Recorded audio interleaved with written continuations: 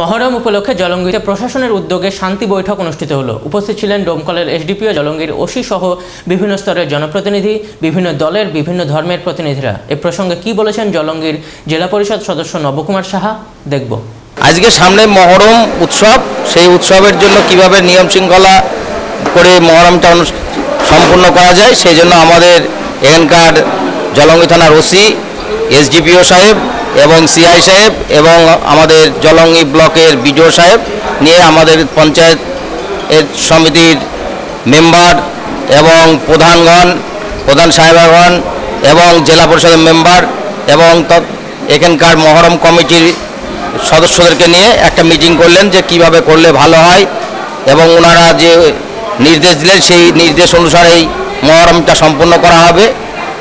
এই বার্তা দিয়েই ওনারা আজকে আমাদের শেষ করলেন। আজকে আমাদের ওসি সাহেব জেগেছিলেন জলঙ্গি থানার ওসি।